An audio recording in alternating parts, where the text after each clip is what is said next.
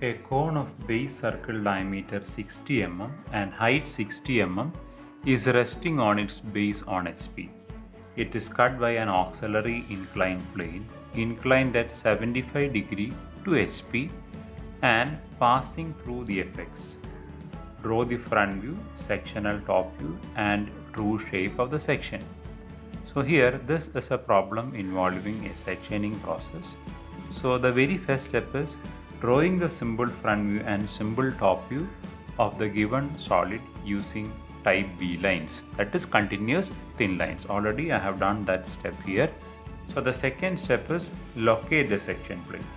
It is cut by an auxiliary inclined plane. So in this case this auxiliary inclined plane means it is a section plane itself because it is doing a cutting process.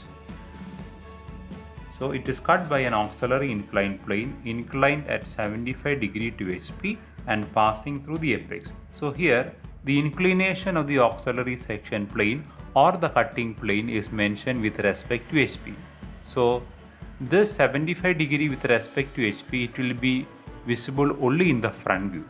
So whatever inclinations that are mentioned with respect to the horizontal plane it will be visible in the front view.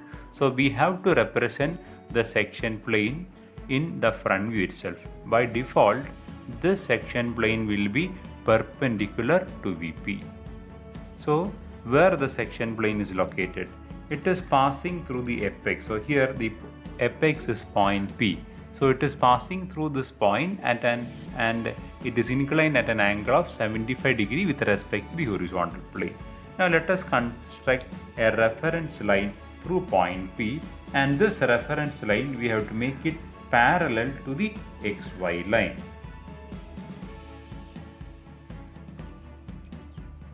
So let us measure an angle of 75 using the protractor.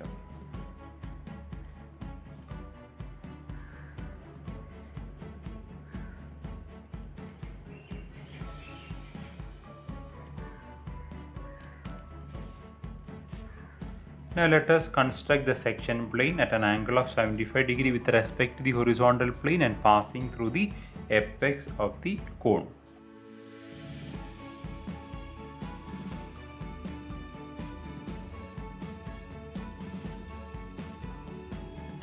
So we have located the section plane. It is a continuous thick line inside the solid. It is a chain line outside the solid.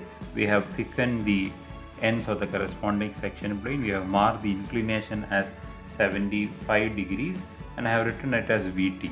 So this section plane it will be meeting with the vertical plane because it is inclined to the horizontal plane and by default it will be perpendicular to the vertical plane. So when the sectioning process is happening it will be cutting the solid like this. So when it is cutting the solid like this, it will be meeting with the vertical plane so that it is having a vertical trace. So after doing this step, the next step is mark the meeting points of the section plane with the various base surface and the various generators of the cone. So here, if you notice, it is not meeting with uh, the generators that we have drawn here. Generators are uh, PA, PB, PC, PD up to PH. So we have drawn around 8 generators.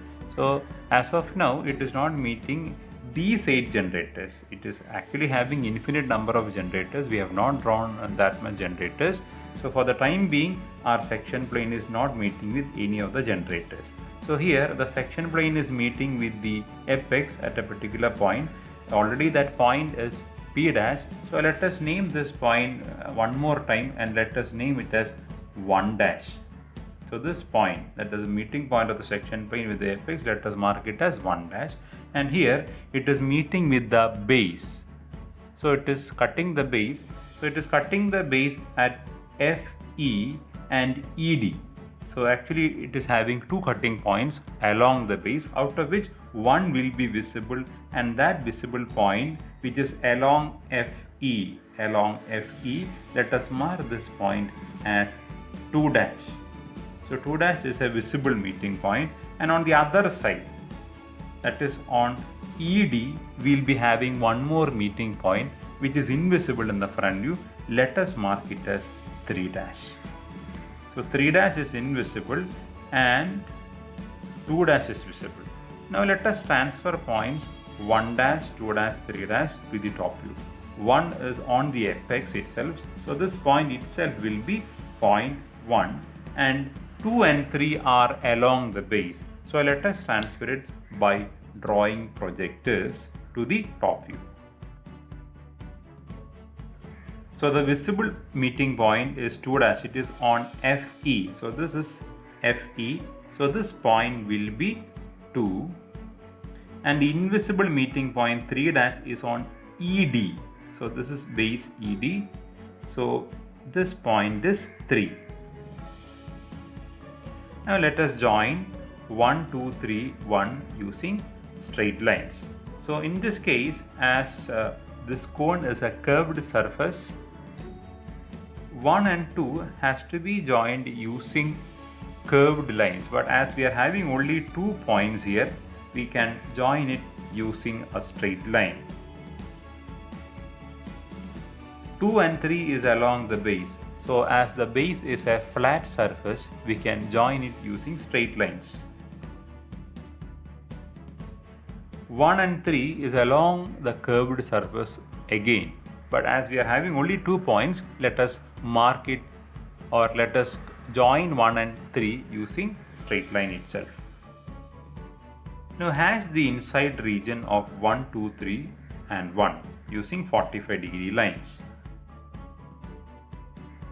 So after drawing the hatch lines, so 1, 2, 3, 1 is the sectioned surface. The next step is draw the remaining regions in the front view using type A lines and draw the remaining regions in the top view using type A lines. Now let us consider the front view. So let us assume that the portion that is on the right hand side of this section plane it is removed and on the left hand side it is remaining. So we have to draw the remaining regions of the solid using type A lines that is continuous thick lines. So let us do it. This forms the outline of the remaining regions in the front view. Now let us draw the remaining regions in the top view also. So in the top view, the outline of the top view is a circle. In this particular circle, the space that is between 2 and 3, this arc is actually removed. So this much area is removed. We are not supposed to draw it as dark line. The remaining regions that is from 2F, GH up to 3 it is remaining. So we have to draw it using type A dark lines.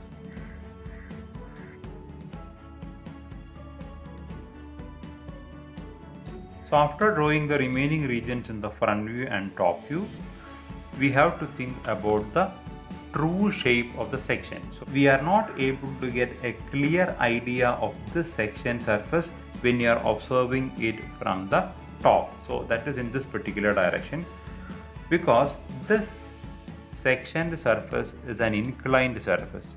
So in order to get a clear idea of the section surface, we have to visualize it in a direction that is perpendicular to the section plane. Here I have indicated an, two arrowheads here. So it is in this particular direction we have to visualize this solid to get a clear idea or the true shape of the section surface which is 1, 2, 3 when you are observing it in this particular direction perpendicular to the section plane. So in order to get a clear idea of the true shape of the section surface, we shall straighten this section plane which is inclined at an angle of 75 degree with respect to the horizontal plane. So we shall measure the length of the section plane which is inside the solid. So the distance between 1 dash and 2 dash. So it is approximately 67 or whatever value you are getting you take it as such.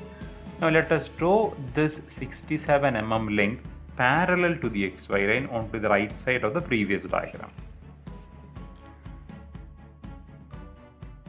Let us mark this extreme end as 1 dash and the other end as 2 dash comma 3 dash.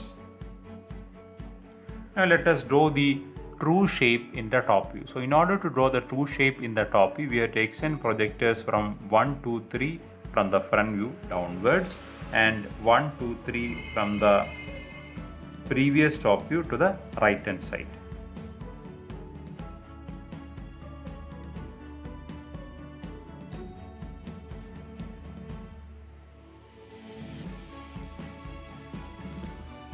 After marking 1, 2, 3, let us join it using thick lines.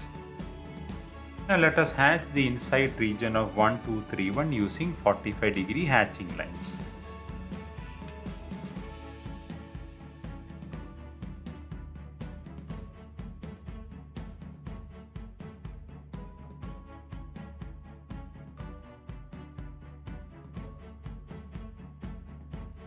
So let us have a quick review of the problem. So the first step is drawing the symbol front view and symbol top using type B lines that is thin lines. After which we will be locating the section plane at an angle of 75 degree.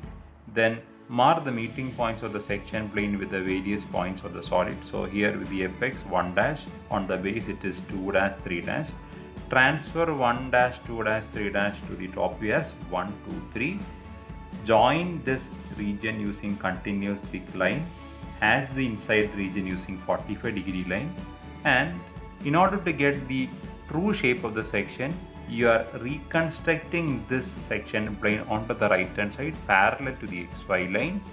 And in order to get the actual true shape you are extending projectors from this line downwards and from this 1 2 3 to the right hand side so we'll be getting again 1, 2, 3. Join it using thick lines as the inside region so as to get the true shape. So in this case, this front view is known as a symbol front view. This is a sectional topic because the section surface is visible here and after that you have to do the dimensioning process also. In this case, we got the true shape as a triangle. So why we got the true shape as a triangle here? So in this case the sectioning plane is passing through the apex and it is cutting the base also. So in such kind of sectioning process in which the section plane is passing through the apex and at the same time if it is cutting the base, you will be getting the true shape as a triangle.